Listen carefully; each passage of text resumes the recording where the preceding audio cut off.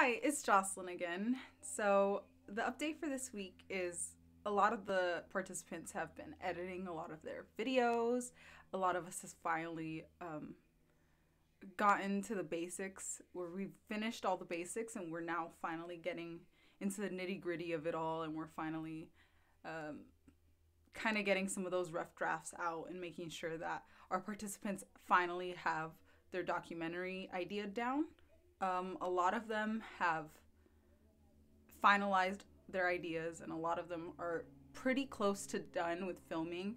And so, right now, all they're doing is just editing and making sure that they have a rough draft to show and for people to critique. And soon enough, they'll have the final product. Uh, thank you so much. This was this week's update for the DMM program. Bye.